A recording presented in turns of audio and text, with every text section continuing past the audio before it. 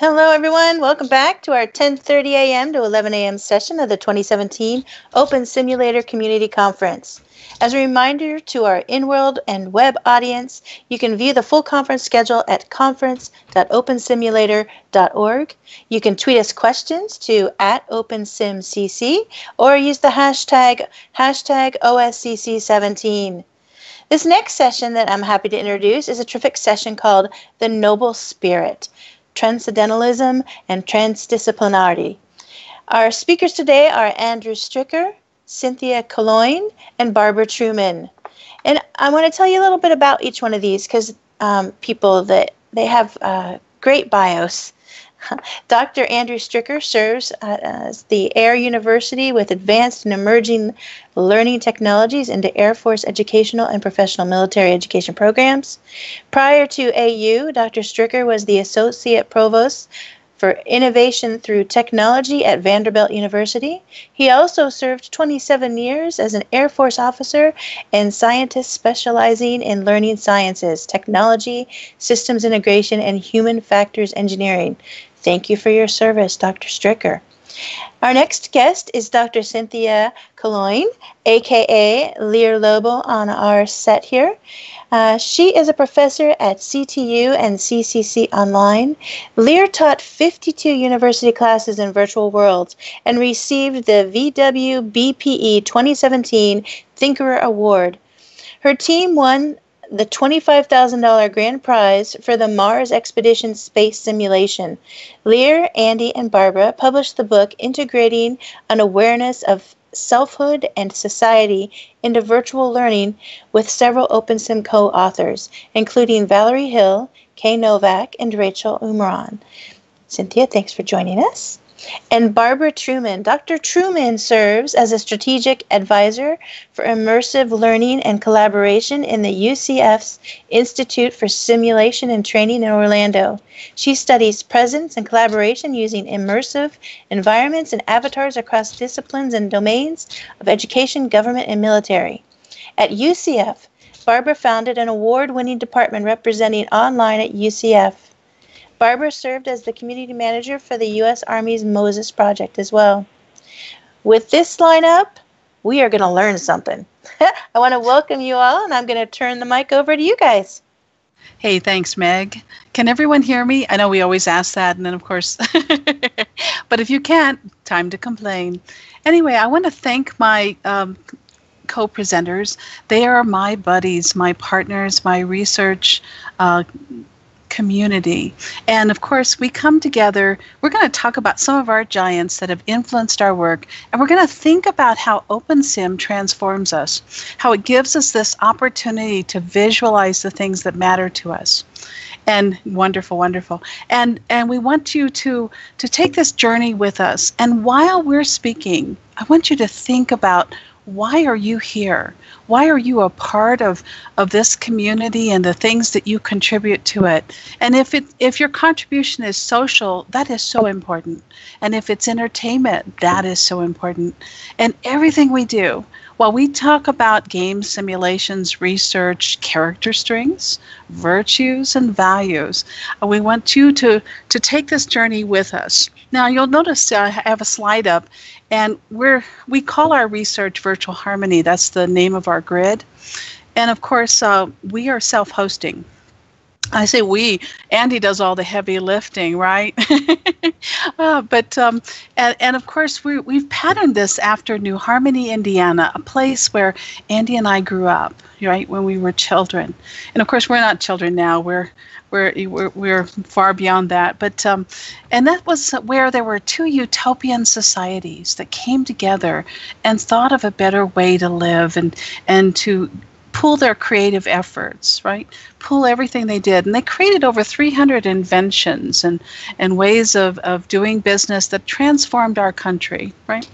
And so uh, some of my giants in the field are, of course, about games, right? Will Wright with the uh, the Sim, SimCity, and Spore, uh, Jesse Schell with the Elemental Tetrad and how we design games, and Jane McGonigal and Constance Steinkuehler who are thinking about why these things matter and how we learn through games. And then Celia Pearce about avatars and identity, and then Joseph Campbell, of course, with the story of myth and the hero's journey. So I want to invite you to think about these things as we are moving um, through this talk. And of course, I'm showing in just a moment, you'll see, or right now, you're seeing uh, scenes from some of our work. And some of these places, uh, some are Loire in France, right, where we gather at the Simone de Beauvoir Salon and, and think about uh, where we're going, what we're going to do next uh, in our projects, and then why these things matter, right? How they help to transform and make our world a better place on Tuesday, we're going to invite you to take a tour with us, see some of these things, and then think about your work and what you need for your future. But for now, I'm going to turn the floor over to Andy Stricker, who's going to talk about transcendentalism and, of course, uh, he, the giants in his area. And then I'm going to turn it over to Barbara Truman, who's going to talk about transdisciplinarity and, and her research and the intersection of scientists and people to cause great things to happen. And then I'm going to conclude with a few more scenes from OpenSim and then an invitation. Over to you, Andy. Well, thank you, Cyn. Hope everybody can hear me. Um, I'm so excited to be here again for an OpenSim conference. It's uh, it's been life changing for me to be a participant of the community and and transcendentalism is near and dear uh, to our hearts in virtual harmony. Um, you know, we we really um, are very intent on representing what transcendentalism means for us and, and all the possibilities uh, through the use of virtual worlds such as uh, the open simulator uh, community. And it really has inspiration uh, from German philosophers and English and European romantic authors. And we're going to talk a little bit about the American version. Uh, it gets represented in, in some of the early work of uh, Emerson. You can go to the next slide, Cynthia.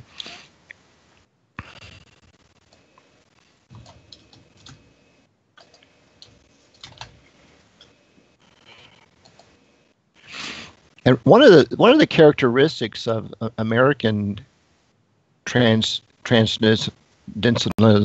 is a is a, a focus on wanting to, um, you know, put deeper meaningfulness into the uh, lives that we live and escape from the materialism and and the over focused on the sort of isolated lifestyles that we can get caught up in um, when we're focused on strict materialism.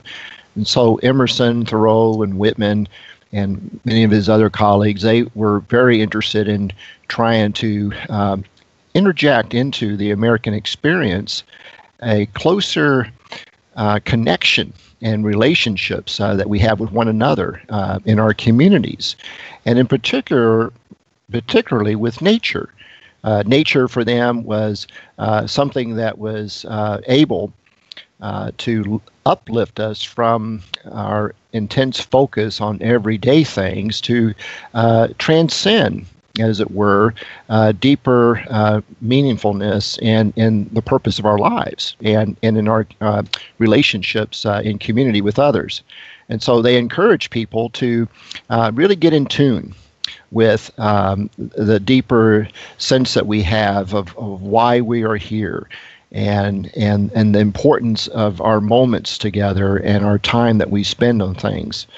And one of the things that um, uh, we try to do in virtual harmony in this spirit is to uh, introduce a, a way that people can get re in tune, as it were, to things that um, have a, a, a life changing kinds of uh, experiences that you would think about things and relate to others in ways that our busy lives, apart from these virtual spaces, make it very challenging or difficult to do. Next slide for me, Cyn. And so, so what current transcendentalism is focused on is is more of a, uh, a humanistic uh, philosophy where uh, individuals uh, in our lives uh, are extremely important. It's like a, a, a Martin Buber concept where the the encouragement is to not to see the moments of our our lives and just uh, you know, high intensity uh, kinds of activities, but uh, to step back and reflect and appreciate the uh, deep meaningfulness of, of what we are experiencing. And so um, we want to encourage people to not look at other people as objects, but more in a, in a close identity of how they're related uh, to one another. And so we, we encourage that very much. Next, next slide, Cyn.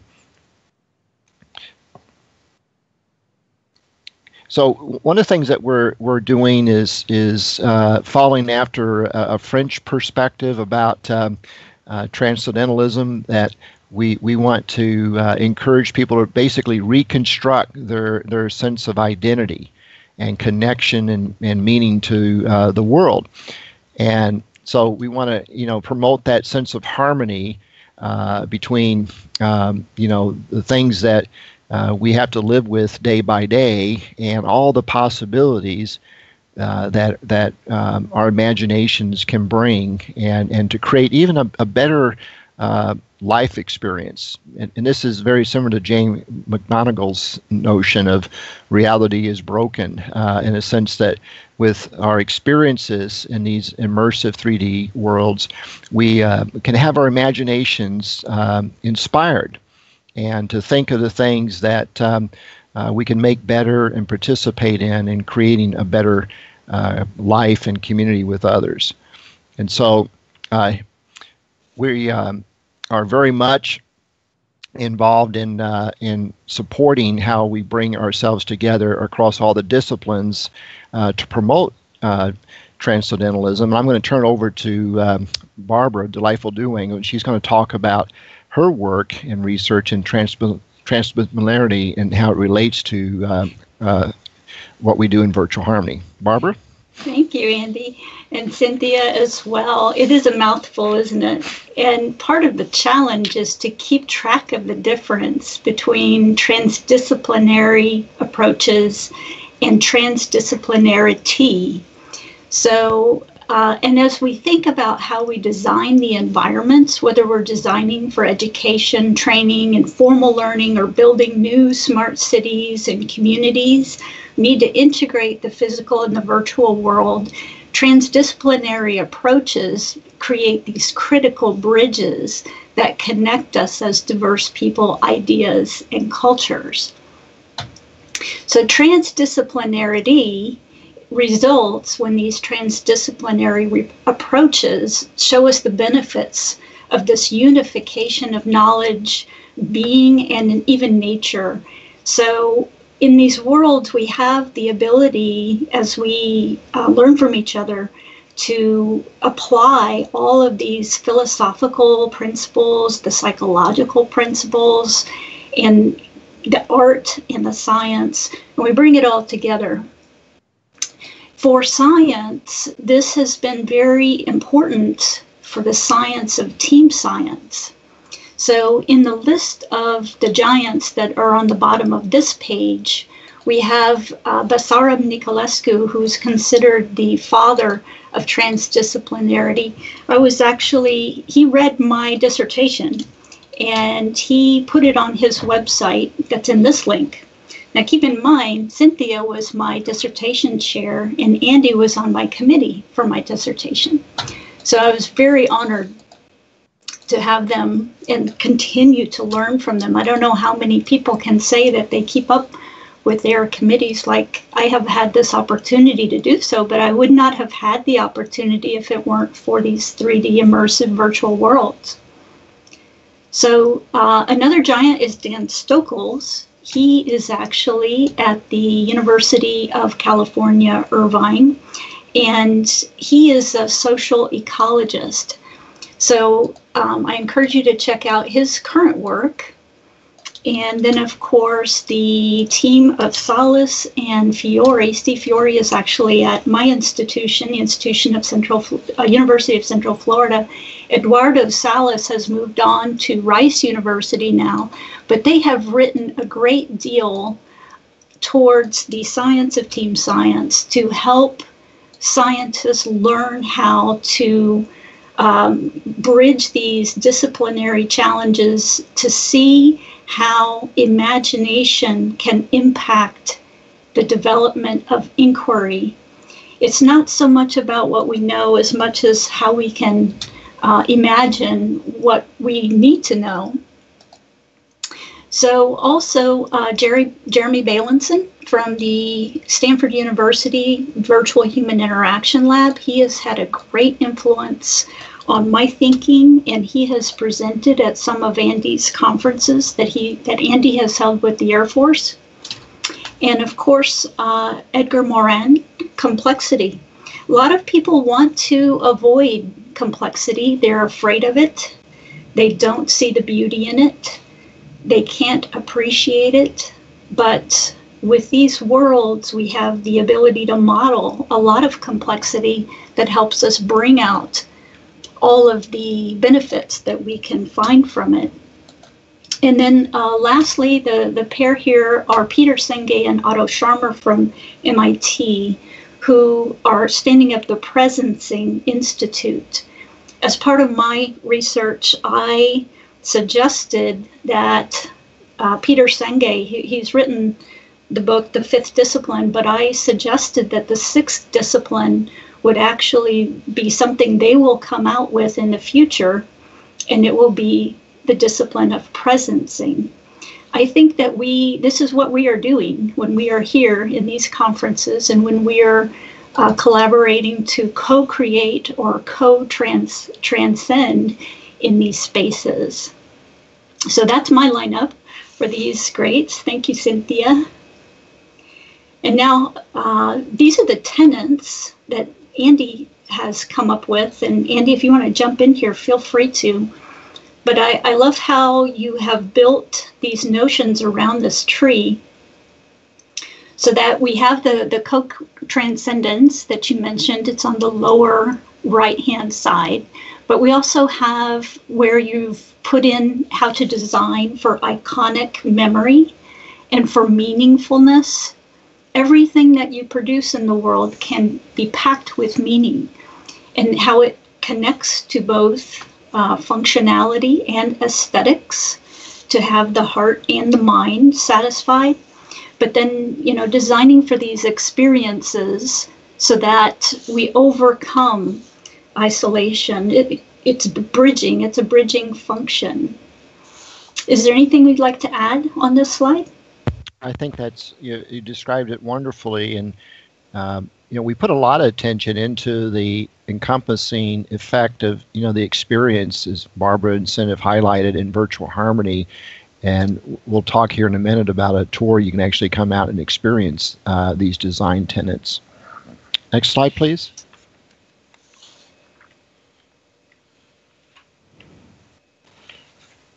Yes, and these are just some of the images in virtual harmony that um, the Hall of Virtues in the upper left-hand side, uh, right below that, where we were um, studying some of the wines in the, the French Loire region.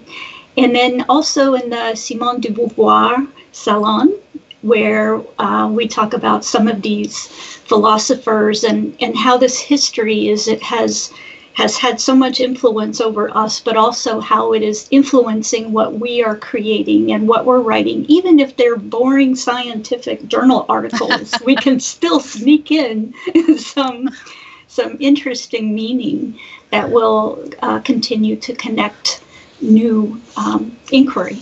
Well, it's not all boring because you see us there on the right enjoying a good bottle of wine. And of course, uh, Andy gave us a wine challenge and said we all had to bring our own bottles and, of course, come up with our own labels for them and think about our experience. and of course, that's Barbara on the lower left and Andy, Barbara, and I on the upper right. And the Hall of Virtues, think uh, of the Arthurian Knights and think about character strengths and think about what is it that makes you such a wonderful person? And how do you then share and contribute that with the world around you with in, virtual worlds as well as in your physical space? And how does this make you a finer person as a result? Well we're running low on time here but we we only have a couple more slides to wrap up and then of course there's a break. But um, here andy has designed a tree that we've populated with some leaves to think about the qualities that matter to us. And one of them is mindfulness. And this tree, by the way, in the next slide, we show a mesh version. And think of it as a navigation device for touring some of our content within Virtual Harmony. Andy? Yes, we, um, we, we have our inspiration from the contemplative mind um, uh, association in higher education, and they have a, a community of scholars that research um, you know the the things that we can do in our uh, academic and private and public lives to promote uh, contemplation and a closer identity uh, and community with others. And so um, we encourage you to go out and visit uh, that that association in higher education and uh, and network with them if some of the topics that we're sharing today uh, interest you. But um, all these areas that uh, we've talked about, uh, you can go out and actually. Uh, uh, later, I think it's Tuesday, right, uh, Sen? You can come out into virtual harmony and and you go up to this tree that you see depicted, and it will take you around um, the contemplation uh, areas of virtual harmony with various activities that you can engage in and sort of see the design tenets of what we've talked about um, as they've been put into um, uh, the environment. So back over to you, Sen and Barbara. Thank you, Andy. And yes, um, we're giving a tour uh, I'm laughing because, of course, uh, several of you have asked me to give everything in UTC time. Um, uh, it's 11 a.m. Pacific on Tuesday. And, of course, um, uh, you're welcome to join us. We will have a hypergrid link up prior to the session. We're self hosting, so we're not using another agency. And all of this content is running on Andy's farmhouse. And so I'm so proud of the fact that we have figured out how to. I, I hosted a class or two there, and it was an amazing experience, very stable. And, and it, that, that's what reminds us of how privileged we are to have access to this technology. And we want to thank everyone who's helped us to uh, to be able to work in these spaces. Well, here's my last slide, and of course, Andy designed a dinosaur for one of his um, grandchildren or, or a nephew, and I had to laugh because I just love it. And of course, I'm wearing a bird on my shoulder because we have so many birds living where I live, and so uh, so we have spaces that res- remind us of ourselves, and we want to we want to thank everyone and the organizing committee, of which Barbara and I are members, and and of course everyone who's helped us, the core dev team, the viewer folks, and and you. Thanks. All right. Well, gosh, guys, thank you so much for this. I cannot wait to go to Virtual Harmony and check it out. Check out the mindfulness area and get in sync with it. Um, does anyone have any quick questions, real quick? Uh, quick. How many times can I say quick in a sentence? Ha! um, but if anyone has any questions, I can take about two questions. Um,